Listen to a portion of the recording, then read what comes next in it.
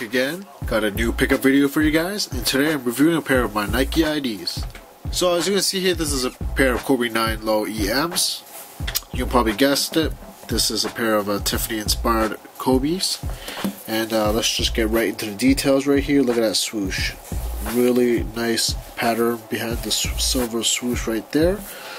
You got your white dynamic, dynamic Flywire peeking through, the mesh right there.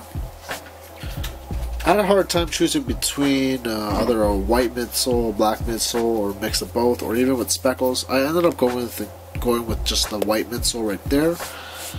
Black medial and lateral uh, support pieces.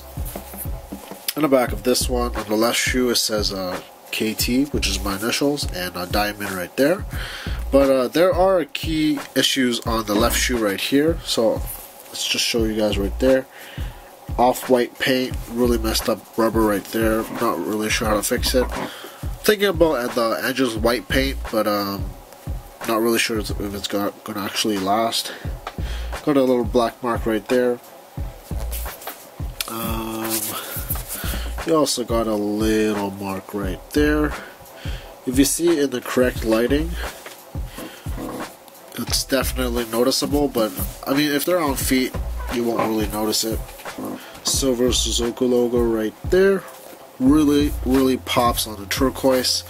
This shoe is actually um, Tiffany blue. It's exact color as the Tiffany like jewelry box. Uh, the camera's just reflecting off all the light so it looks really bright. Um, let's just show you the other one right here.